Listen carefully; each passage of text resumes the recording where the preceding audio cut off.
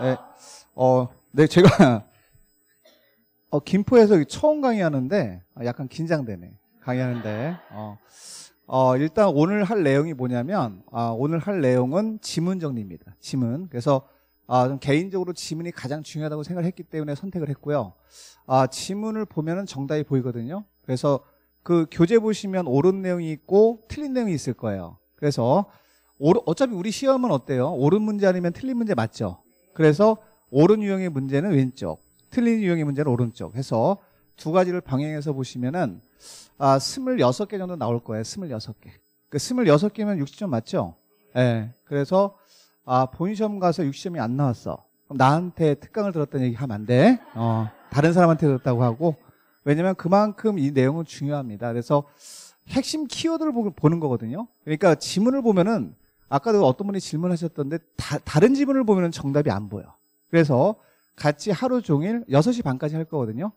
아, 일단 어, 지문을 보면서 핵심적인 부분이 어딘지를 제가 말씀드리면 거기 동그라미 치고 그걸 계속 보셔야 돼.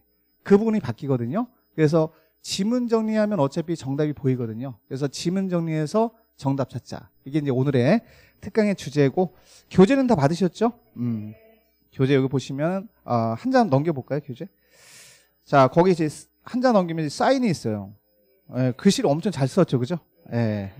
신경 엄청 썼어요, 제가. 이거 하냐고 한 다섯 번 이게 수정한 것 같아. 다섯 번 이상. 자, 그 옆에다가, 어, 여러분 성함 쓰시고 34의 합격생 이렇게 쓰세요. 음. 음, 쓰셔야 돼요, 이렇게. 합격생. 이렇게 쓰시고, 어, 사인 옆에다가. 땡땡땡. 여러분 성함 쓰시면 돼. 그래서 이제 며칠 안 남았는데 너무 긴장하지 마시고 그냥 공법은 별거 아닙니다. 가서 26개만 가서 뽀개면 돼요. 그래서 26개만 빼 내가 확실하게 정리하면 합격한다 이렇게 보시고 불안하면은 안 되는 게 뭐냐면 아무 의미가 없거든. 그래서 지금은 가장 중요한 게 이거야. 자신감. 음. 있어야 돼요, 진짜. 마인드가 엄청 중요해, 지금. 멘탈 나가면 안 됩니다. 그래서 내가 지금 점수가 뭐 모의고사에서 40점 나왔어. 동영에서 40점 나왔어. 합격합니다. 그분들 다 합격했어요. 작년도. 그래서 맨날 앞에서 어, 작년에 같은 경우는 제가 맨 앞에 분 계신 분 중에 한 분이 점수가 엄청 안 나와. 동영을 봤는데 꽈락이 나오고 뭐 42.5가 나오고 막 그래요. 맨날 울고 다녔어. 근데 어 내가 그분한테 그랬어요. 어 그냥 무조건 열심히 하라. 지금 하는 대로. 그럼 합격할 거다. 그래서 합격을 했어요. 그러니까 쉽게 말하면 아 그분들이 멘탈이 안 나간 거예요. 쉽게 말하면 울긴 해도 자신감을 잃지 않았지. 그래서 우는 건 괜찮아, 우는 건 괜찮은데 요거 잃어버리면 큰일 나요. 요거 잃어버리면 안 되고 요거 갖고 시험장 가서 합격을 하시면 돼. 그래서 요게 제일 중요합니다. 특강도 중요한데 요 멘탈 나가는 거, 멘탈 잡는 게 제일 중요해요. 지금은. 그래서 지금 며칠 안 남았지만 어, 한 30일 남았, 40일 남았나? 음, 40일 정도 남았는데 뭐 시간 같은 건 의미가 없고 가장 중요한 건 미리 말씀드릴게요. 공법은 전체를 봐야 돼, 전체. 전범위를 봐야 돼, 전범위. 이거 하나만 말씀드릴게. 이게 합격의 키워드야. 다시 말하면 국계법만 보고 이러면 안 돼. 국계법부터 농지법까지 봐야 돼. 농지법 안 봐도 되고요. 국계법부터 어, 그렇지 주택법까지 보셔야 돼. 이게 제일 중요해 이게. 이거 안 하면 맨날 앞에 있는 것만 하다가 뒤에 있는 거 까먹고 맨날 뒤에 있는 거 하다 앞에 있는 거 까먹고 또 뭐 자죽도 까먹고 뒤돌아서만 까먹고 맨날 그런다고. 그거 그러다가 뭐 1년 지나는 거지 뭐. 의미가 없다니까. 그래서 이 전체를 보는 연습을 지금부터 꼭 하세요. 음, 이게 눈에 안 들어와도 그냥 가야 돼. 어, 다시 눈에 안 들어와도 가야 돼. 진도 맞춰서 내가 눈에 들어올 때까지 그걸 보면 안 돼요. 그럼 다른 걸 못 보거든. 그러면 이제 쭉 반복해서 보다 보면은 눈에 안 들어오던 게 보이는 시점이 있다고. 음, 보이는 시점이 분명히 있어요. 두 번, 세 번, 네 번 보면 보여. 그러니까 그 전체를 계속 보면서 공부를 하셔야 되거든. 이거를 지켜주면 합격을 해요. 무조건 공법은. 이거 잊어버리, 잊어버리면 안 되거든, 이게. 그래서 전 범위를 꼭 공부를 하세요. 전 범위 한번 하더라도. 그래서 전 범위가 지금 당장 안 되면 세계 법률식 하세요. 세계 법률식. 세계 법률. 예를 들면 국계법, 좀 쉬운 거 먼저. 국계법 맨날 했으니까 도시개발법, 그 다음에 농지법 뭐 이렇게 하든가 잡아서 하세요. 세 개씩. 나머지 법률 세 개. 이렇게 해서 아, 이거를 이제 이 두 번에 나눠서 하다가 10월 달 정도 한 시험 2주일 정도 전에는 요걸 한 번에 다 봐야 돼. 요건 무조건 목표로 잡아야 돼. 이거 안 하면 점수 안 올라. 어, 그래서 맨날 어 이러다가 끝나는 거야. 아, 그럼 끝나는 거거든. 그러니까 요게 제일 중요하니까 요거 잡고 요 두 가지만 있으면 무조건 합격해요. 공법은 꽈락 절대 안 나옵니다. 꽈락이 왜 나와요 도대체? 그래서 꽈락이 나오는 사람이 이해가 안 가는 거야. 어, 나올 일이 없는 거지. 그래서 요렇게 요걸 갖고 요걸 항상 마인드 갖고 어, 시험자까지 가시면 좋은 결과를 합격할 수 있습니다. 아시겠죠? 네. 자 이렇게 하시고 오늘 진도 좀 나가 볼까요? 한장 넘겨서. 자 일단 국계법에서 광역도시계획부터 펼쳐, 펼쳐볼게요. 자 광역도시계획은 무조건 100% 나오거든요. 자 뭐 용어 정의 이런 건 지금 하지 말고 용어 정의는 그냥 기본으로 가서 마치고 오는 거고 지금은 자 우리가 핵심적인 사항들을 먼저 중심으로 오셔야 되는데 광역도시계획은 100% 나와. 음 근데 중요한 건 100% 맞히는 게 중요한 거야. 이게 광역도시계획에서 핵심이 뭐냐? 광역계획권 지정권자랑 광역도시 수립권자입니다. 두 개입니다. 두 개. 그 두 개만 알면 답이 보이거든요. 그래서 형태가 어떤 형태로 나오는지 한번 볼까요? 자, 먼저 어, 보겠습니다. 자, 일단 왼쪽부터 한번 보면은 음, 교재 같이 병행해서 보셔도 돼. 자, 자주 출제되는 옳은 지문인데 어차피 여기서 다 나오거든요. 옳은 내용은. 자, 보겠습니다. 1번. 둘 이상의 특별시, 광역시, 자치시, 자치도, 시군에 자, 공간 구조와 사- 기능을 상호 뭐 한다고요? 연계. 동그라미 쳐야지, 그다? 연계. 자, 연계한다. 연계. 자, 연계를 하고 그리고 나서 환경 보전. 그 나머지는 있는 거야, 여러분들. 자, 광역시를 체계적으로 정비하기 위해서 필요한 경우에는 광역계획권 지정할 수 있다. 여기다 형광색 몇 줄. 음. 여기서 지정해야 한다, X. 지정할 수 있다. 자, 시험의 유형이 지정해야 한다는 지문이 보여. 그러면 누가 지정하든 상관없이 무조건 X라고 와. 그래서 요 부분을 많이 바꿔 본 시험이 간단한 거거든요.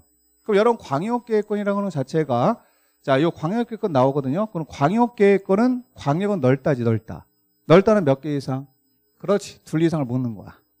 음, 예, 관할구역을 자, 두 개, 이상- 두개 이상을 묶어서 광역계획권 지정할 수 있다 하고 여기서 자, 두 명을 딱 써놓으면 되죠. 음, 국장하고 도지사. 자, 지정권자입니다. 두 명. 이렇게 하면 완벽한 정리가 되는 거예요. 그래서 일단 이렇게만 일단 정리해도 됩니다. 여기는 자 일단 뭐 옳은 내용이고 자 일단 여기서 가장 중요한 핵심은 이거야. 지정해야 한다 그러면 X. 지정할 수 있다. 이건 찾을 수 있어야 돼. 본 시험에서. 자 그럼 2번. 자 지정권자 물어보네 지금. 네, 끌, 자 끌고 내려갔잖아 지금 지문이. 자 그럼 국장 지정할 수 있나요 없나요? 있어요. 여기도 밑줄 그어야지 맨 끝에. 지정할 수 있다. 일단 옳은 내용이죠, 그죠? 그럼 지정권자를 보는 거야 두 번째. 그래서 자 국장이 만나볼까? 자, 인접한 둘 이상의 특별시, 광역시, 자치시의 관할구역의 전부 또는 일부를 광역계획권으로 지정할 수 있다 이렇게 나오거든 지금. 자, 그러면 이 대상직이 만나봐야 되거든. 특별시, 광역시, 자치시를 줬어, 세 개를 줬어. 그럼 이 세 군데 지역은 어느 범주에 포함이 되는 거죠? 시, 도의 범주에 포함되는 거 맞나요? 맞아요. 그럼 시도에 걸치면 한 단계 위에는 누가 지정할 수 있지? 국장. 퍼펙트 그래야지. 딱 읽으면서. 어, 이렇게 되는 거야, 정리가. 자, 그럼 이런 범주를 딱 찾으면 돼요. 같은 도 빼고는 다 국장이 정합니다. 같은 도 벗어났잖아, 지금. 그지? 그러니까 당연히 국장이 정할 수 있다. 퍼펙트하게 정리가 돼야지. 이런 것들은 도지사로 낼 수 있어, 시험에, 분시험에. 그럼 X하고 오시면 돼. 그래서 그렇게 이제 포인트를 찾으면 될 것 같고, 3번 한번 가볼까? 자, 광역계획권은 인접한 둘 이상의 특별시 나왔네. 자, 일단 광역계획권 나오면 자, 몇 개 이상이 붙어 있어야 돼? 둘 이상. 그렇지. 자, 특별시, 광역시, 자치시, 자치도, 시 군에. 자, 여기서 두 번째 논점은 이거야. 묶는데 전부를 대상으로 지정할 수 있나 없나? 가능하고요. 일부만도 대상으로 가능해요. 동그라미 쳐놔야지. 일부를 대상으로 지정할 수 없다 그러면 X야. 둘 다 가능해. 필요한 만큼 지정하는 거기 때문에 전부 또는 일부를 대상으로 자, 지정권자 두 명 나온다. 여기 동그라미 쳐보고 국장 지정할 수 있죠. 도지사도 지정할 수 있죠. 맞아요. 퍼펙트 하잖아. 이 지문이 요 범위 내 범주 내에서 쭉 연결되는 거거든요. 어차피 이 범주를 벗어나지 않습니다. 그래서 범위를 넓힐 필요가 없어. 본질만 알면 1번, 2번, 3번은 금방 끝나는 거야. 그래서 여기서 바꿔봤자 이런 거 바꾸는 거야. 전부 일부. 이런 거. 1분 지정 못한다. 뭐 이런 식으로. 또 바꿔봤자 지정해야 한다. X가 되는 거지. 그런 식으로 해서 논점을 잡으면 될 것 같고. 자, 그럼 여기서는 지정권자가 이제 정리가 된 겁니다. 자, 그리고 내려가서 4번 가면 자, 지정 절차를 물어보는 게 4번이야. 그래서 국장이나 도의사가 지정할 때 의심하고 지정하자. 맞죠? 예, 네, 의심하고 지정하자. 두 가지 절차를 거치는 거지. 의견 청취. 음, 그러니까 필요한 행정청한테 의견 듣고 자, 의견 청취하고 이거는 논점 없어요, 여러분들. 뭐 주민한테 의견된다 이것만 빼곤 다 맞아. 예를 들면 국장이다 그러면 필요한 행정청의 의견을 다 듣는 거야. 시도의사, 시장으로서 의견을 미리 듣고 그럼 되는 거야. 자 여기서 중요한 건 최근에 많이 나오는 게 자 여기 보세요. 의견 청취 여기 있죠 지금. 여기 의견, 의견 여기 동그라미 쳐놔.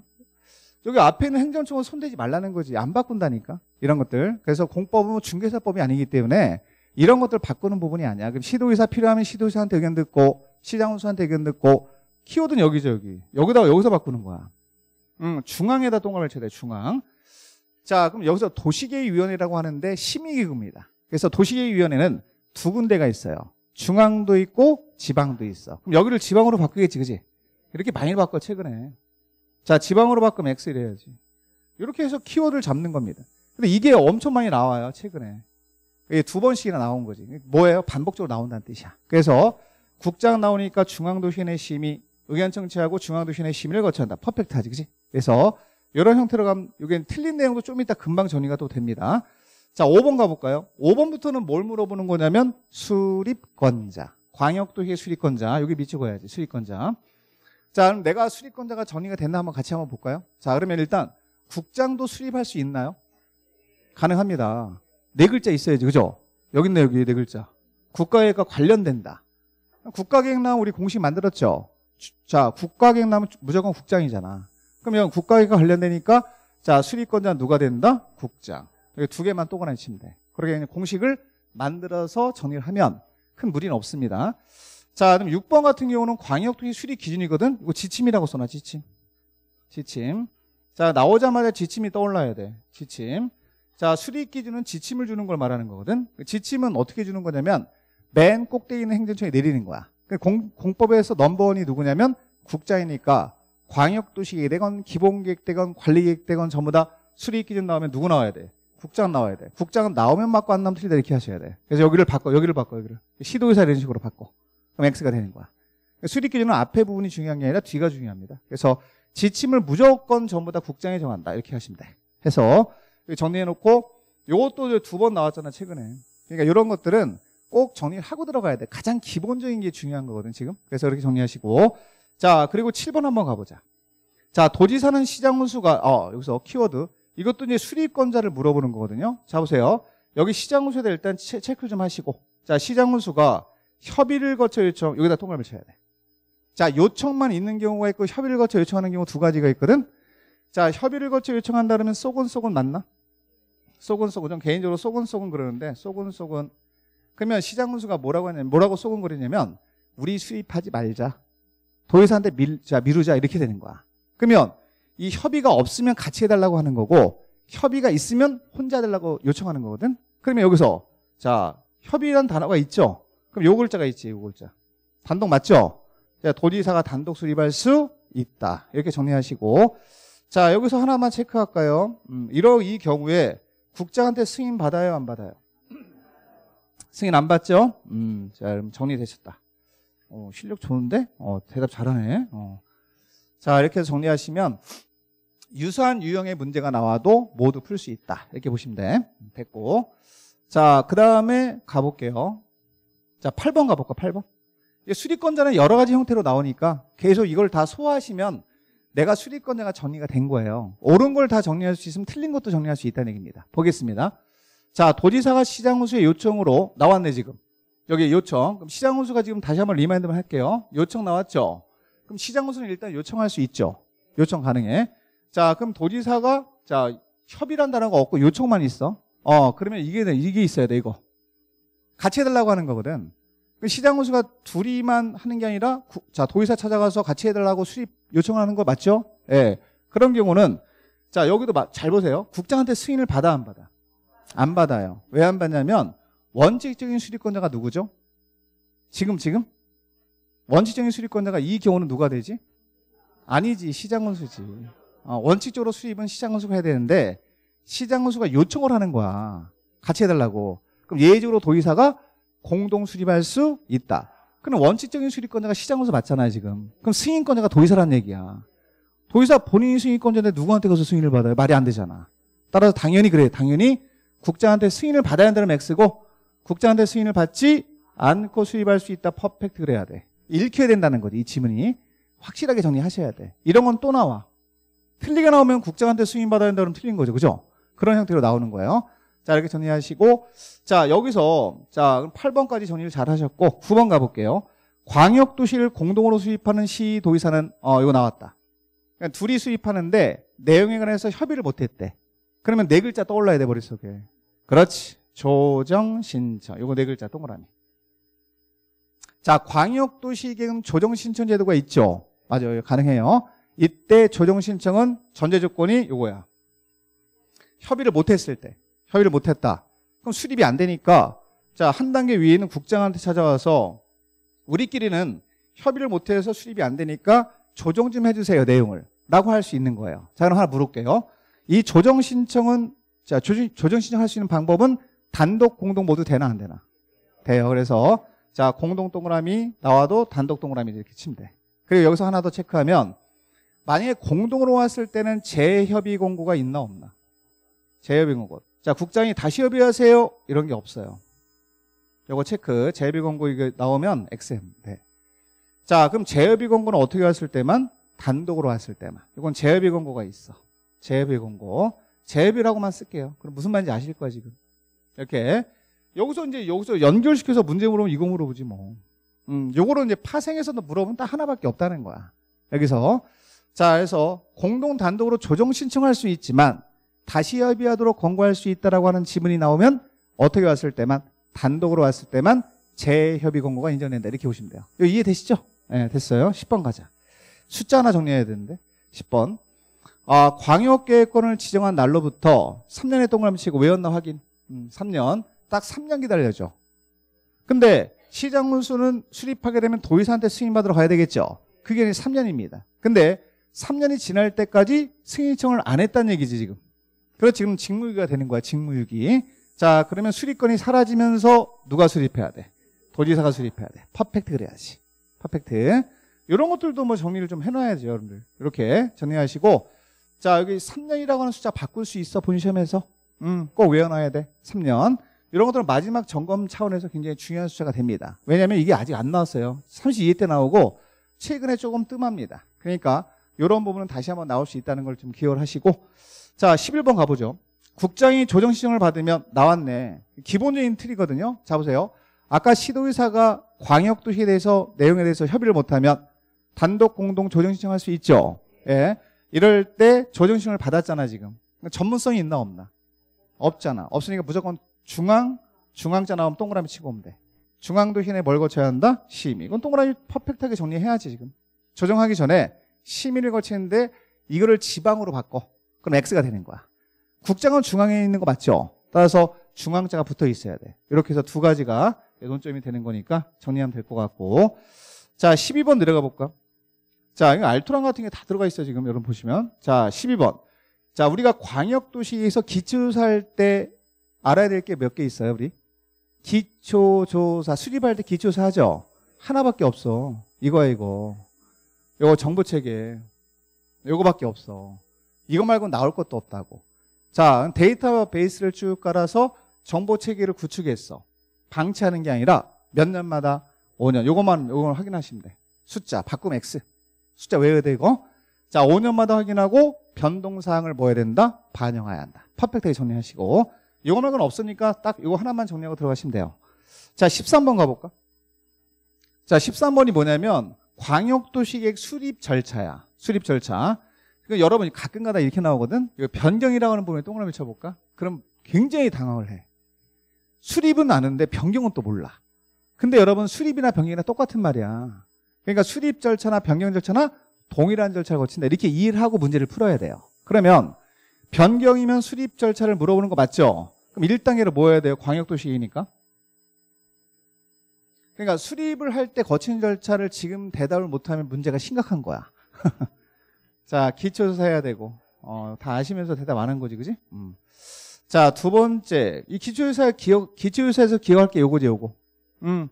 자, 기초조사 할 때 기초조사 정보 체계를 구축하라 그랬죠? 몇 년마다? 5년마다 확인하고 변동사항을 반영해야 한다. 이게 되는 겁니다. 두 번째가 공청회인가요? 음, 공청회. 자, 공청회는 주민하고 전문가가 되는 거 맞죠? 이거 생략할 수 있나 없나? 절대 생략이 안 돼. 생략할 수 있다. 그럼 X야. 이거는 자, 그다음에 세 번째 절차를 물어보는 거거든, 이게. 세 번째가 뭐냐면 지방의회 의견 청지 이렇게 되는 거죠. 그렇지? 그럼 여기서 지금 수리권자에 맞추면 돼 그냥. 수리권자가 시도의사 맞죠? 그러면 시도의회 이렇게 되는 거야. 자, 그다음에 시장문서 앞에 있지. 그러면 시군의회 이게 지방이에요, 여러분들. 그래서 여기 보면 시도의회, 시군의회 나오죠, 그죠? 맞아요. 그리고 도의사 같은 경우는 밑에 두 명이 더 있잖아. 시장문수 있지 않나? 그럼 시장문수한테 의견 들어라 이런 얘기잖아, 지금. 이걸 그냥 퉁쳐서 지방의 의견 청취라고 하는데 이거는 틀리게 안 나와. 거의 오른내우로 나와. 그래서 이거를 네 글자로 합쳐서 얘기를 해야 돼. 아, 요거는 뭘 물어본다? 지방의 의견 청취 절차를 물어본다. 그래서 수립하거나 변경할 때는 지방 얘기를 들어야 한다. 퍼펙트하지, 그지? 정리하고. 자, 그다음에 내려가서 14번 가볼게요. 아, 이 14번이 여러분들 요게 제일 많이 나와요, 사실은. 작년도 이게 답이었어. 틀리면 큰일 나는 거야, 이게. 굉장히 중요한 게 뭐냐면 이거예요, 이거, 요청. 여러분, 여기서 국계법에서 요청이 뭐냐면, 아, 행정청이 부탁하는 게 요청이에요. 근데 보세요. 자, 우리가 광역 계획권, 광역 계획권이거든요, 이게. 광역 계획권 지정이나 변경. 변경 나온다고 당황하지 말고 지정하고 똑같아, 그냥. 그러면 광역 계획권 지정권을 갖고 있는 행정청이 몇 명이지, 지금? 두 명이지. 국장이랑 도지사만. 맞나요? 그러면 권한이 없는 자는 권한이 없는 행정청도 있을 수 있지, 그지? 그럼 권한이 없, 없는 행정청은 여기는 권한 있는 자한테 부탁을 해야 되겠지. 그래서 여기 보시면 국장이나 도지사한테 와서 요청할 수 있다고 써 있거든. 권한 있는 자한테 부탁을 하는 거야. 그러면 보세요. 장관이 17명이 있습니다. 그 중에 국장만 지정할 수 있나요? 광역계획권을? 약간 뻐거거리, 뻐거거린다, 그지? 어. 자, 국장만 지정할 수 있는 거야. 그러면 나머지 장관 16명이 있거든? 16명의 장관을 다 이름을 쓸 수는 없잖아. 뭐라고 써요? 이렇게 쓰는 거야. 그러니까 장관인데 환경부 장관 지정 못하지, 그지? 그럼 국장 찾아서 요청할 수 있다는 거지. 그런 얘기고, 시도에 걸치면 누가 지정해요, 여러분들? 광역계획권이, 아니야, 시도에 걸쳐 있어. 국장이 지정하죠? 그럼 시도의사 지정 못 하지? 그럼 시도의사는 국장한테 요청할 수 있지? 그 얘기잖아, 지금 여기. 시도의사 요청할 수 있잖아, 지금. 자, 같은 도에 속해 있으면 도의사 지정할 수 있죠? 시장 우선 지정 못 하지? 그럼 시장 우선 도의사한테 요청할 수 있지? 그러면 이런 얘기잖아, 지금 이게. 엄청나게 중요한 사항이에요. 그럼 여기서는 중요한 단어가 뭐냐면 요거예요, 요거. 요게 답이야. 음, 요거. 있다가 없다로 나오면 틀려. 요청은 행정청이 하는 거기 때문에 무조건 있다로 끝나야 돼.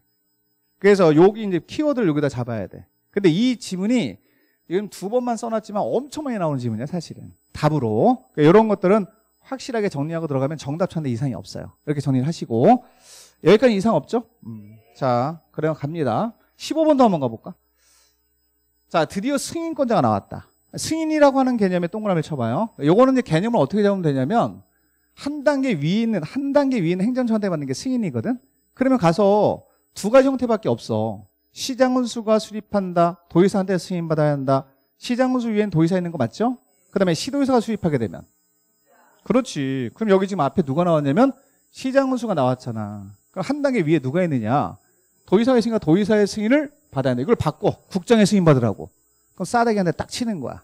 두 단계 올라가면 싸대기한테 맞는 거잖아. 그러니까 요 부분이 키워드야. 아, 맞네, 도지사. 그래야지. 그걸 국장으로 바꾸면 안 된다는 얘기지. 바꿀 수 있는 거 이거밖에 없어요. 됐고. 자, 16번. 아까 말씀했지만 공청회 동그라미 쳐봐요. 음, 광역도에 수입할 때 공청회 해체하는 거 맞죠? 두 번째 단계잖아.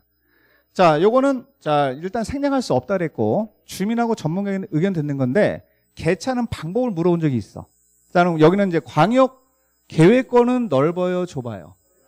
넓으니까 여러 개로 나눠서 개최할 수 있나 없나?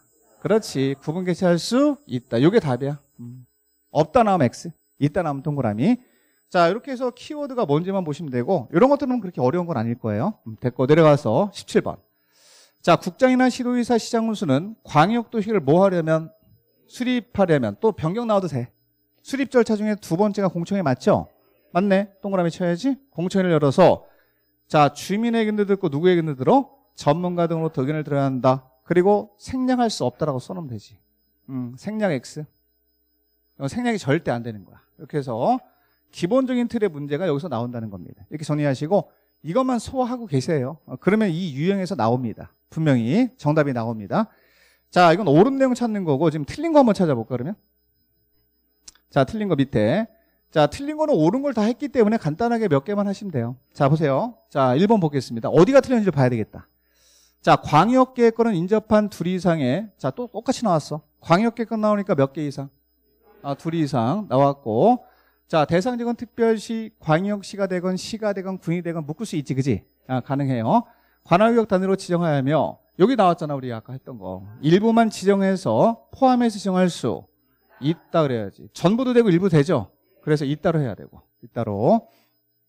이런 것들은 뭐 기본적인 유형입니다. 됐고 지정하는 방법을 물어보는 거고 자 2번 볼까 2번 수리권자 물어보는데 잡아요.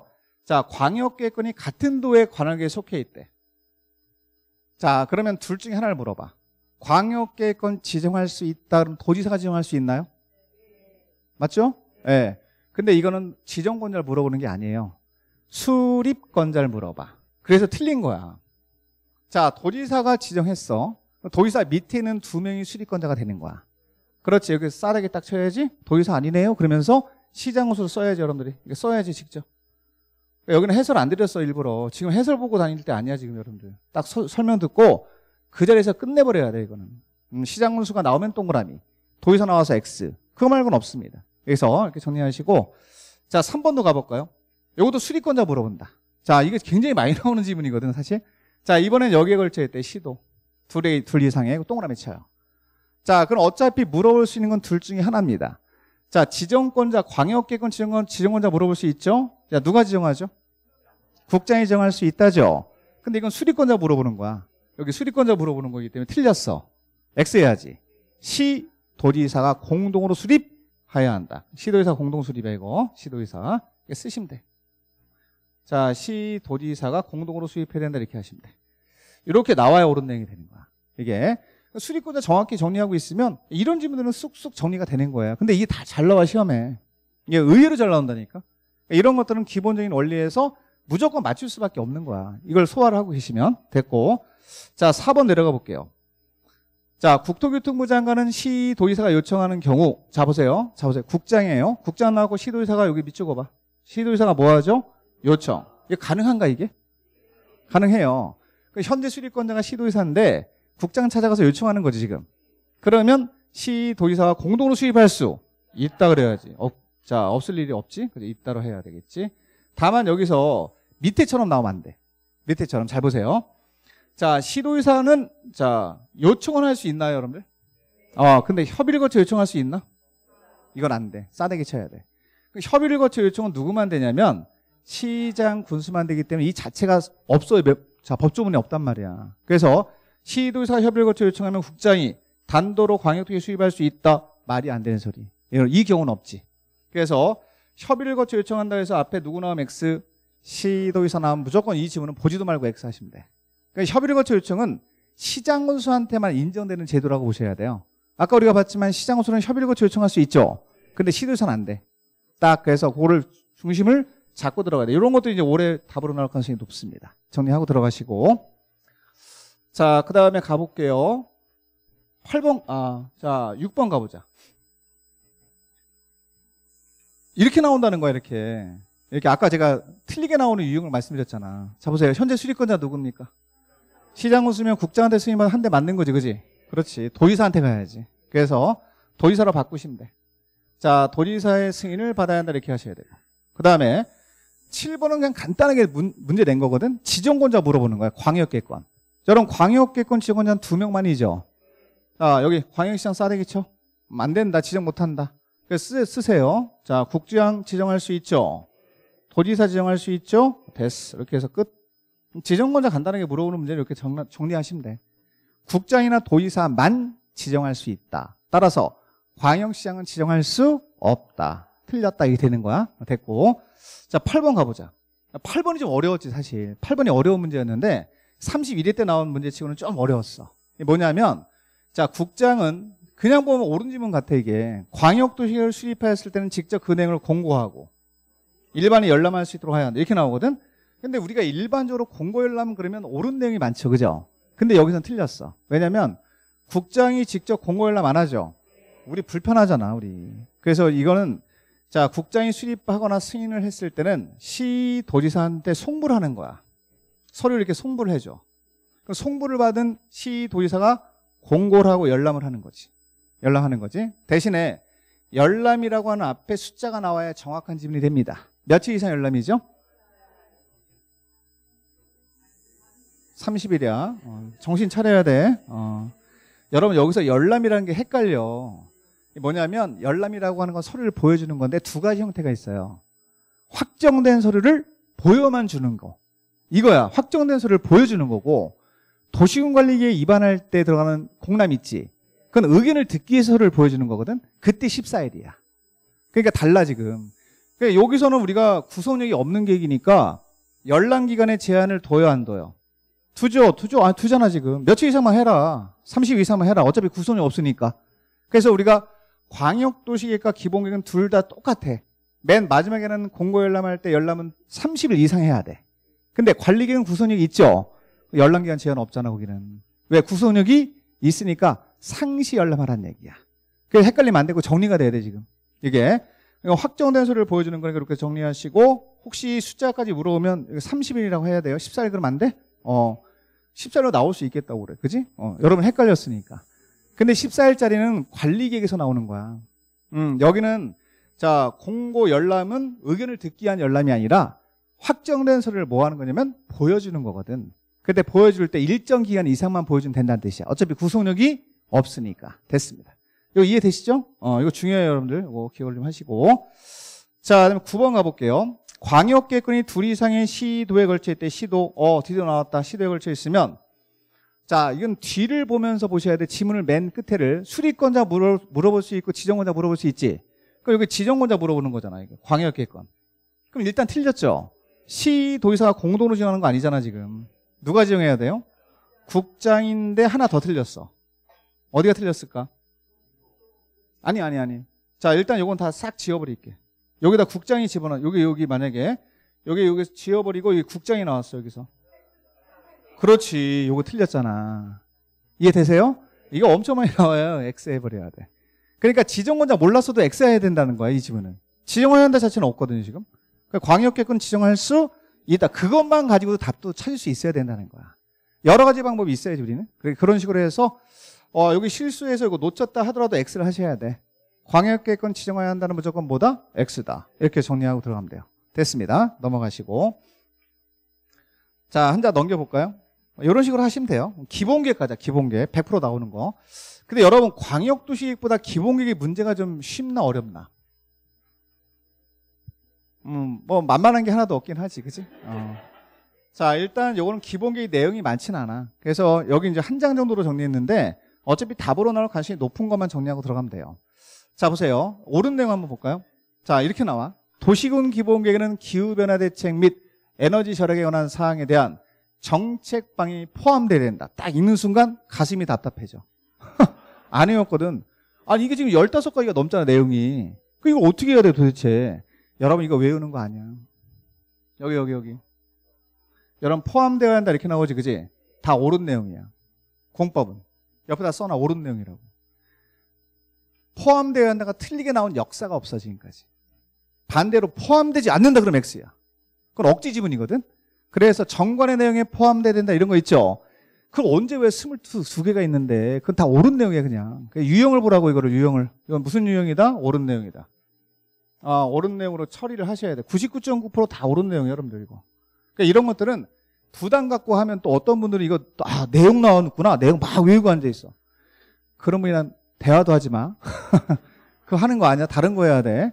그러니까 이런 것들은 정답이 되는 건 아니고 지문 중에서 약간 어렵게 내기 위해서 이 내용을 조금 포함시켜서 낸 거예요. 근데 이런 것들은 여기 있는 거 외우지 말고 또 여기 보면 방향이 써 있지, 그지? 이 방향이 들어가 있는 게 기본 계획이잖아. 구체적인 내용이 있는 게 아니잖아. 그러니까 당연히 포함되는 게 맞는 거지. 그런 식으로 이제 문제를 푸시면 될 것 같아. 됐고 2번은 이거 제일 많이 나온 답이지 뭐. 아마 여러분 다 정리가 됐을 거예요. 여러분 도시군 기본 계획이 왜 이걸 내냐면 유일하게 재량이 있어. 다른 계획은 재량이 없어. 기본 계획만 재량이 있거든. 재량이 있다는 얘기는 이렇게 되는 거야. 수립하지 아니할 수 있다가 유일하게 있는 계획이 기본 계획이야. 다른 계획에서 수립하지 아니할 수 있다는 무조건 싸다기 쳐. 기본 계획만 있는 거거든 이게. 뭐 광역 도시 없어요 그런 거. 그 다음에 어 그다음에 관리 계획도 이런 거 없습니다. 그럼 여기서 자, 세 가지 요건을 모두 갖춘 시군이라는 뜻이거든. 그 세 가지 요건을 머릿속에 갖고 있나 한번 보자. 첫 번째, 자 위치가 수도권에 속하지 아니하고 동그라미 쳐야지.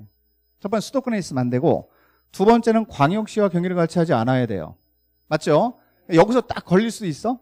어, 나는 10만으로 외웠어. 근데 8만이 나왔어. X 하는 사람 되게 많아. 답답한 거야. 자, 얼마 이하죠? 10만 명 이하잖아요, 여러분들. 그럼 8만 명이면 10만 명 이하에 해당이 되는 거 맞지, 그지? 동그라미를 쳐야지. 세 가지 요건을 모두 갖춘 시군이니까 성립이 되는 거야. 재량권이 인정된다. 기본계획을 수립하지. 아니할 수 있다. 퍼펙트하지. 이게 제일 많이 나와, 본시험에. 본시험에 답으로. 이런 것들은 확실하게 정리를 하고 가시면 유사 문제 나와도 다 풀 수 있습니다. 자, 3번 내려가 볼까요? 음, 3번 가시면 이거 읽는 순간 뭔가 떠올라야 돼. 아, 연계 수립. 이렇게 떠올라야 돼. 왜냐면 자기 관할국을 벗어나서 수립할 수 있나 기본계?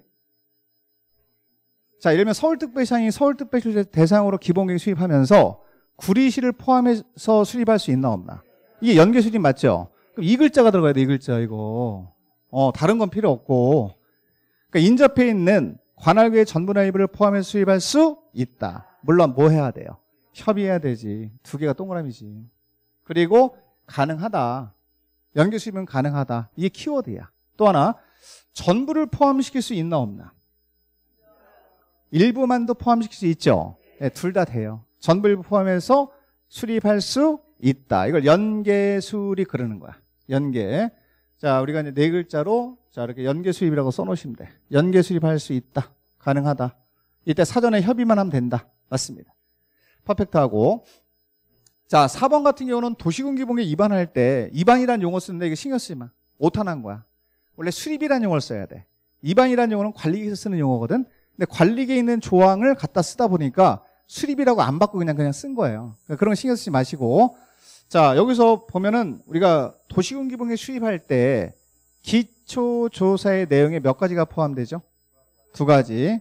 토지적 선평가, 재해치하서 분석. 거의 돼 있죠, 지금. 생략할 수 있나? 생략할 수 있어요. 몇 년 이내 실시? 여기 있네, 여기. 5년 이내 실시했다. 토지적 선평가를 실시했으니까 자, 생략할 수 있다. 실시하지 아니할 수 있다. 퍼펙트하지. 두 가지. 이런 걸 숫자로 내는 거예요, 이거. 최근에 한 기준이 몇 년이냐? 5년입니다. 이런 것들. 정리, 자, 기준 좀 잡으시면 되겠고. 자, 그 다음에 5번 가볼게요. 자, 시장 운수, 도시군 기본계 수립에다 동그라미 쳐놓으시고, 수립권자 몇 명? 도시군 기본계 수립권자 몇 명? 여섯 명만 그래야지. 한 글자 더 붙여야지. 여섯 명만. 그러니까 여섯 명이 아닌 자는 수립 못하는 거야. 여섯 명이면 특별시장, 광역시장, 자치시장, 자치도의사, 시장 운수만 수립권자 맞죠? 그 중에 네 명은 승인 안 받고 두 명은 승인 받잖아. 그죠? 그럼 그 중에 시장 운수 있나 없나? 있죠? 그러면 수립할 때 절차 한번 다시 한번 써볼까? 자, 1단계로 수립할 때 기초 조사해야 되고 두 번째 공청회 들어갑니까 여기? 자, 공청회로서 주민하고 전문가 의견 들어야 되고 그렇지. 이게 옆에다 써보시면 돼. 세 번째 지방의회. 그렇죠. 지방의 의견을 들어야 돼. 자, 그러면 원리만 여기서 말하는 게 지방의 의견, 의견이거든요. 그러면 수립권자가 누구라고 써 있냐면 시장, 군수니까 시, 군, 의회 맞네요. 그래야지. 시군의회. 수립권자에 맞추면 돼 그냥. 자, 시군의회 의견을 들어간다. 수립 절차 맞습니다. 동그라미 치고. 퍼펙트하게 정리해야 돼요. 어. 이게 지방의 의견 청취구나. 맞다. 수립할 때 거친 절차 중에 하나구나. 동그라미 치면 되고. 자, 그 다음에 6번 한번 보세요. 지금 수립권자 6명 맞죠? 그 중에 4명 나왔어. 앞에 4명. 자, 여기 4명 밑줄로 볼게요. 특별시장, 광역시장, 자치시장, 자치도의사 4명은 자, 수립은 하는데 승인 안 받고 확정하죠. 다시요. 수- 승인 안 받아요. 그러면 수립할 때 거친 절차가 자, 일단 기초조사 해야 되고 수립할 때 음, 공청회로서 주민하고 전문가 의견 들어야 되고 세 번째가 지방 얘기를 들어야 되는데 협의 심의도 본인이 거치나? 협의 심의 본인이 거치지. 왜? 승인권자가 없잖아. 그 얘기야 지금 이게. 그요네 명은 자 기본계획 변경하려면 변경이나 수임이나 똑같으니까 신경 쓰지 말고 일단 협의라고 하는 절차를 거쳐야 되고 그 다음에 중앙이에요, 지방이에요. 지방이지 네 명은 지자체장이니까 지방도시계획에 뭘 거쳐야 한다? 심의. 퍼펙트한 지분이야 이게. 이거를 여러분들 시험에서 유형을 바꿔서 요 앞에 시장으로 냈어. 그럼 X 해야 돼. 왜냐면 시장군수는 수립하고 나서 승인 받아야 되죠. 그럼 도지사가 거쳐야지. 도지사가 뭐도 해야 돼? 협의도 거치고 심의도 거쳐야 돼. 다시 말하면 승인권자가 있을 때는 승인권자가 거치는 절차지만 승인권자가 없으면 본인들이 다 거치는 거야. 그래서 여기 이제 CF 난 다음에 이제 두 명, 두 명. 만약에 누굴 물어보면 준비해야지. 자, 시장 훈수를 물어보면 시장 훈수가 협의도 거치고 심의도 거친다. 이렇게 나왔다고 본 시험에 지문이. 그럼 X 해야 돼, 이거. 이거 X. 이건 싸다기 친다, X 한다. 이렇게 하셔야 돼. 이건 도지사가 거치는 절차지 시장 훈수가 거치는 절차가 아니에요. 그래서 우리가 협의라고 하는 절차랑 심의라고 하는 절차는 승인 절차를 배웠지, 그죠? 그 승인권자가 거치는 절차야. 근데 요 네 명은 승인권자가 없기 때문에 본인들이 협의와 심의를 거쳐서 확정을 한다 이런 뜻입니다. 그러니까 이게 눈에 들어와야 돼 지금. 이 그나마 요게 제일 좀 어려운 내용 중에 하나야. 두 개. 학생들이 말 많이 못 푸는 것 중에 하나니까 요거 확실하게 지금 정리하고 들어가시면 돼. 그래서 누구를 물어보든 다 대답이 돼야, 돼야 돼 여러분들. 여섯 명 중에서 여기 네 명 물어볼 수 있고 두 명 물어볼 수 있지. 그럼 여기서 시장 훈수가 나와서 협의도 거치고 심의도 거쳐야 된다라고 하면 무조건 뭐 해야 돼? X. 됐어. 그렇게 틀린 유형을 이렇게 찾으면 될 것 같아요. 됐고. 자, 그 다음에 7번에 가면 지금 수리권자가 몇 명이죠? 여섯 명이 뭐 해야 돼? 타당성도 해야 되겠지? 타당성 검토. 이거거든. 타당성 검토는 다섯 글자니까 5년마다 하는 거야. 5년마다. 자, 관할회장 여섯 명이 하는 거 맞다. 이게 광역도시에 들어가면 X야. 타당성 검토는 기본 계획부터 하는 겁니다. 하위 계획부터.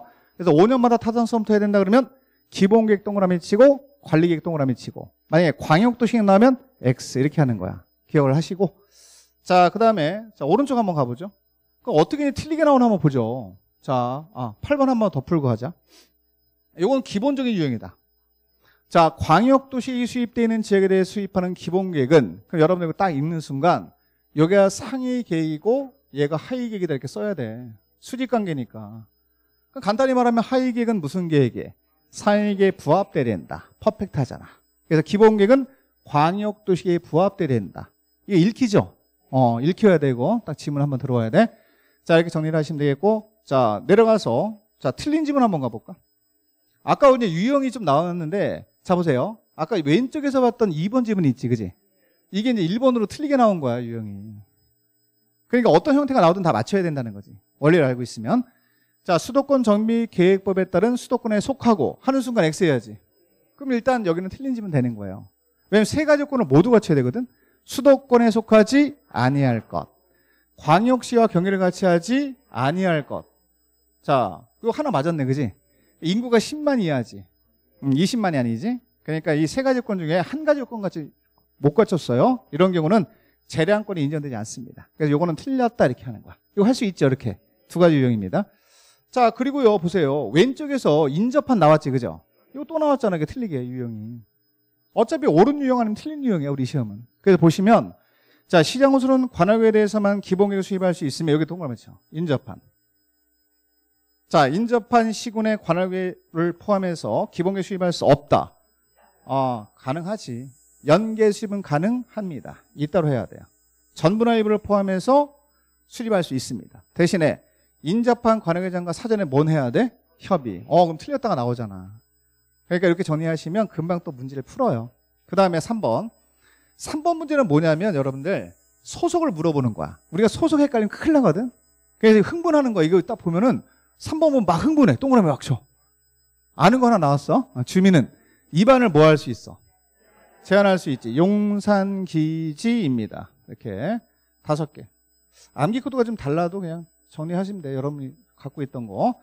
자, 다섯 가지 사항에 대해서 입안을 못하지만 입안을 제한할 수 있거든요. 자, 이게 뭐냐. 용도지구에서의 건축 제한을 지구 단위 계획으로 대체하기 위한 용도지구. 이게 산업유통개발진흥지구. 기반인설 설치준비 개량, 지구 단위 계획구역 지정과 지구 단위 수립, 입지규제 최소구역입니다. 여기까지만 해드릴게요. 그러면 지구 단위 계획구역에 대해서 뭐 지정이 되건 변경이 되건 상관하지 말라 그랬잖아요, 이거는. 지정이나 변경이나 똑같은 거니까. 자, 일단 입안 제한할 수 있나 없나? 가능하죠. 근데 기본 계획은 안 돼 그래야 돼. 어, 그래서 우리가 어떤 계획에 대해서 입안 제한하는지를 정확히 알아야 돼요. 관리 계획입니다. 관리 계획. 기본 계획은 입안 제한이 없어요, 여러분들. 입안 제한 막 외웠는데 무슨 계획인지 몰라. 그러면 안 되잖아. 도식은 관리 계획에 대해서만 입안을 제한할 수 있다. 그래서 이 관리 계획에서 100% 나오는 거예요, 이거. 관리 계획만 있는 거니까 나오는 거지. 올해 나온다니까 입안 제한은. 확실하게 준비했다 맞추고 오셔야 돼. 됐고. 자, 4번 가볼게요. 자, 특별시장, 광역시장, 자치시장, 자치의사 시장무수 몇 명이지? 음, 6명 수리권자 맞지, 그지? 자, 기본기구 수입 하나 변경할 때 이거 나왔네, 공청회. 개최하지 아니할 수 있다는 틀렸지? 생략 안 돼. 이건 생략할 수 없죠?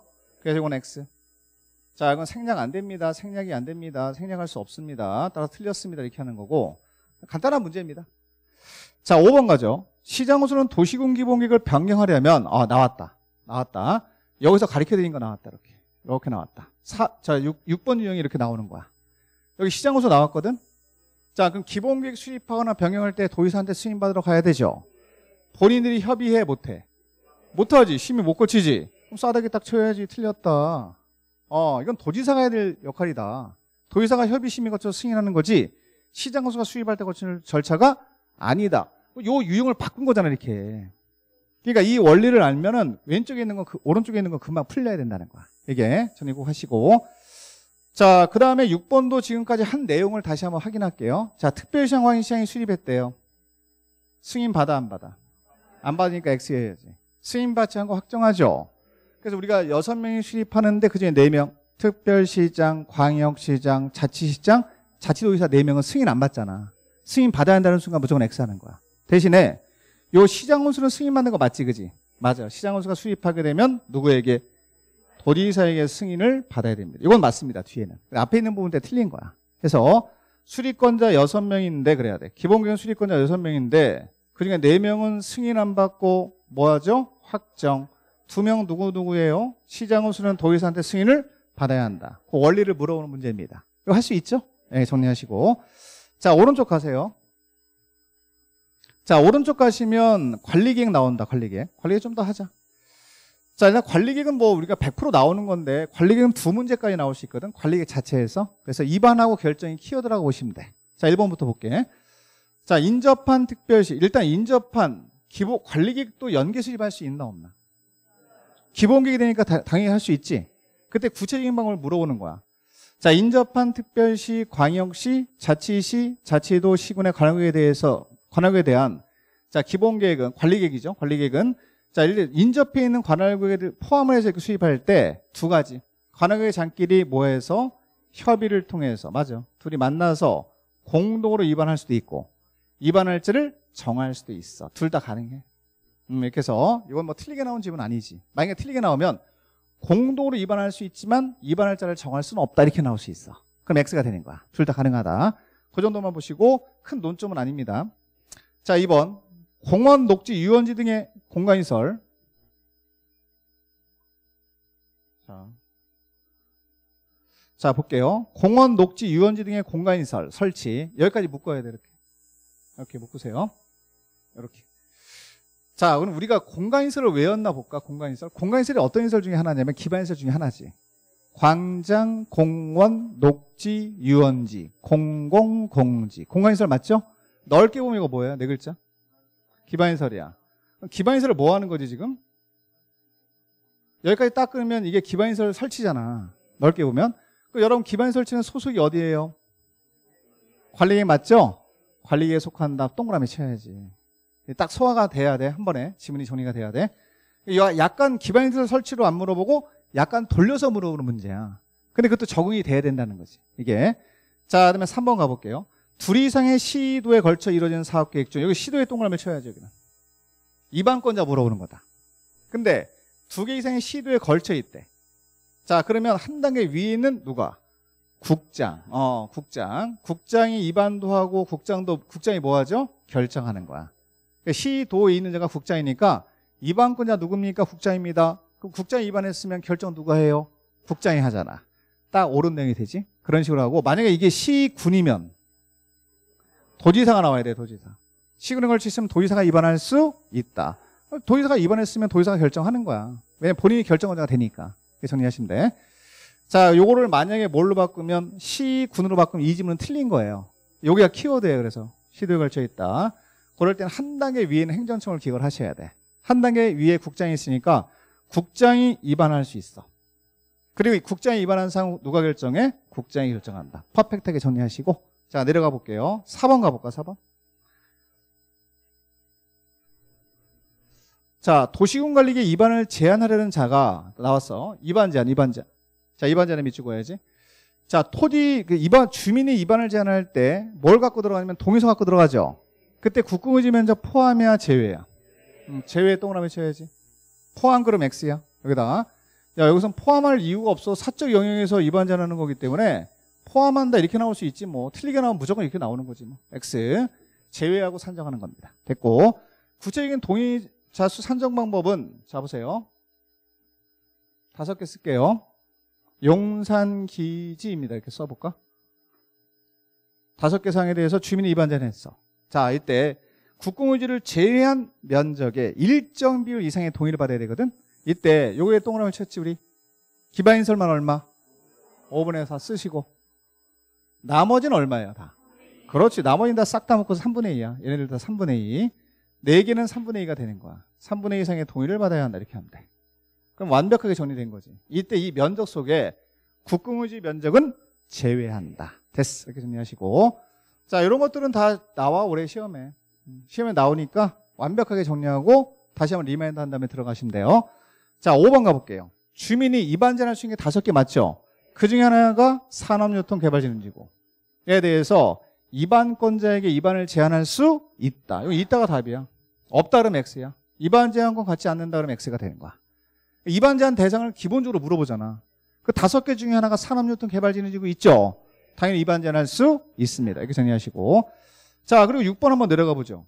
자, 도시군관리계 입안을 제한받은 자는 제한자 협의해서, 그래, 협의해서 제한된 도시군관리계 입안 및 결정에 필요한 여기도 통으로만 쳐야지. 비용. 비용 나오면 이미 준비가 돼 있죠? 뭐라고 하셔야 돼? 어, 형광색 찍어야지. 부담시킬 수 있다. 이래야 옳은 내용이야. 이거를 부담시켜야 한다. X. 부담시킬 수 없다. X. 틀린 유형까지 정리하고 들어가면 돼. 됐어. 자, 그 다음에. 아, 이게, 내가.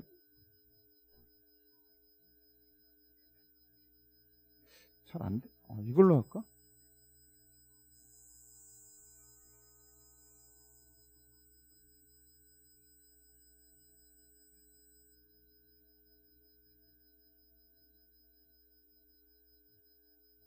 자, 여, 여기부터인가요? 7번? 음. 자, 7번 갑니다. 국가계획 나왔어요. 이거 뭐 껌이지 뭐 껌. 국가계획 나오면 누구 나와야 돼? 국장이 입안하고 국장이 결정하는 거 맞죠? 기본적인 내용이고. 자, 8번 갑니다. 자, 국장은 국가계획과 관련된 경우에는 직접 관리계획을 위반할 수 있다. 뭐 이런 것들은 다 체크만 하면 돼. 자, 국가계획 나왔으니까 국장이 다 나와야 되고 당연히 옳은 내용이 됩니다. 됐고. 자, 9번 가보세요. 여러분 도시군 관리계획은 넘버 3. 다시 말하면 광역도시계획과 기본계획 하위계획 맞죠? 따라서 하위계획은 상위에 부합돼야 된다.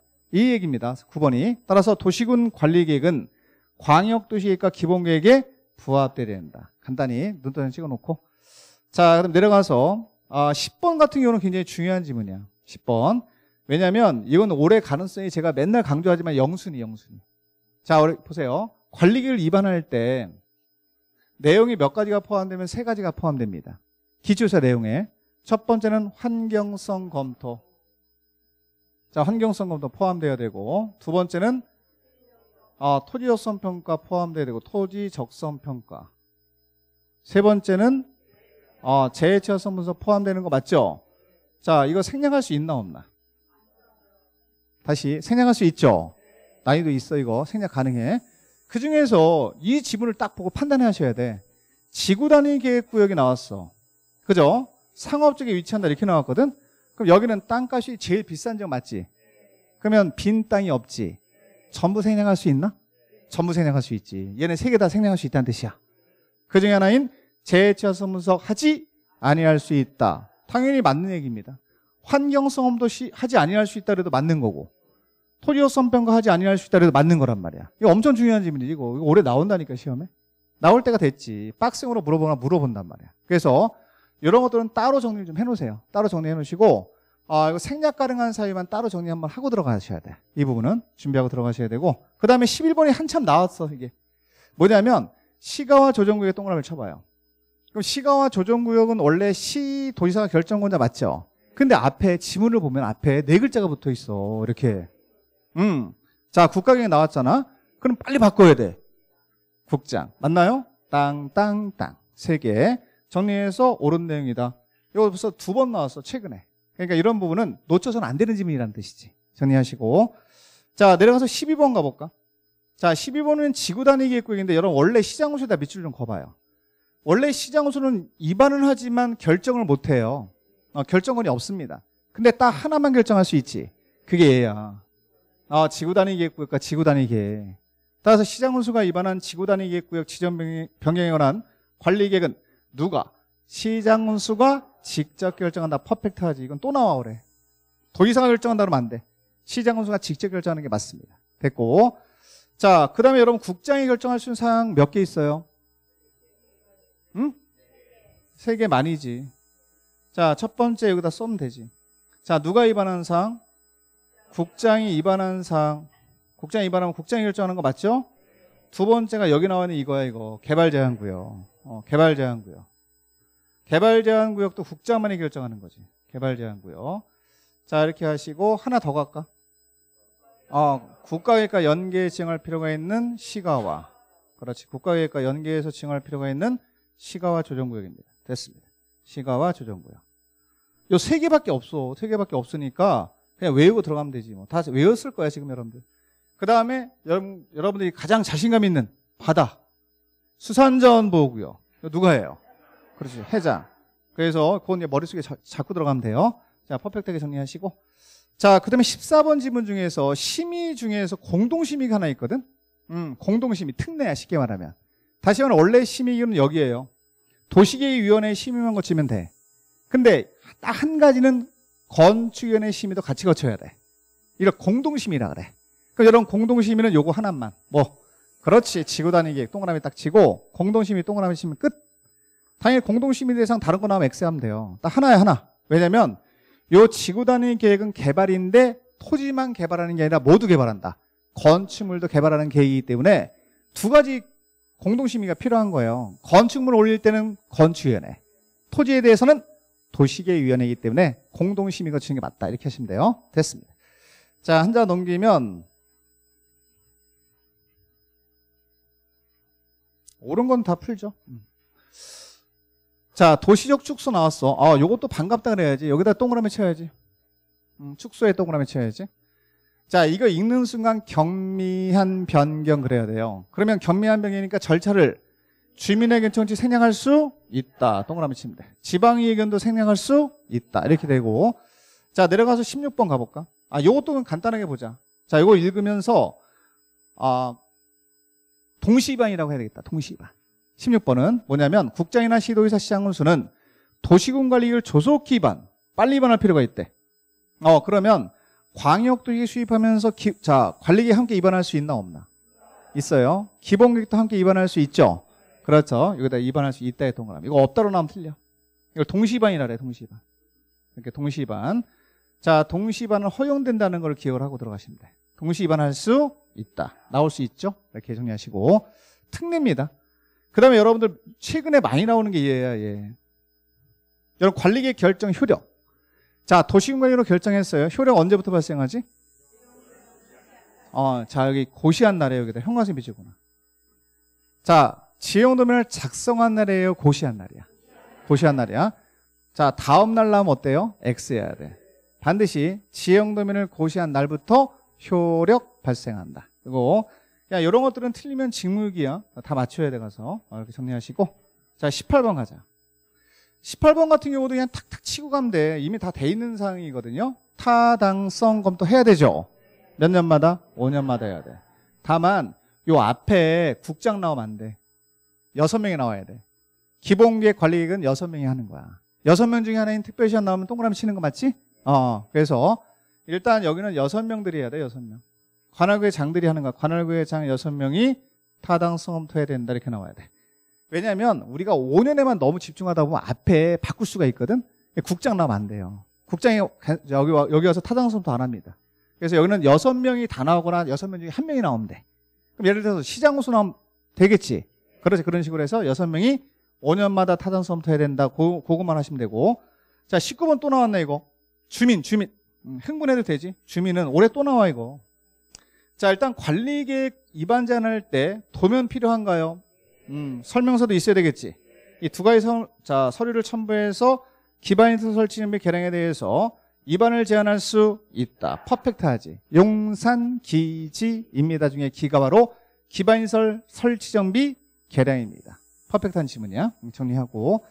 자, 그러면 내려가서 20번 한번 가보죠. 아, 요거 숫자 정리 한번 하고 마무리하지 뭐. 자, 주민이 입안을 제한했어. 입안 제한했으면 입안권자는 제한일로부터 45일. 이거 외웠나 확인해 보세요. 맨날 했지, 이거 맨날 했죠? 어, 45일 이내에 반영 여부를 통보하는 거 맞지? 이거 60일 그러면 안 돼, 이거. 어, 45일이야. 연장할 수 있죠. 딱 한 번만. 이거 동그라미 쳐야지. 1회 안에서 30일 연장할 수 있다. 이거 나오는 지문이지. 이런 것들. 여기서 이제 관리계획에 대해서는 옳은 내용은 여기까지 정리하시고, 뭐 틀린 내용이 있는데 이건 잠깐 쉬 하셨다가 다음 시간에 계속 하겠습니다.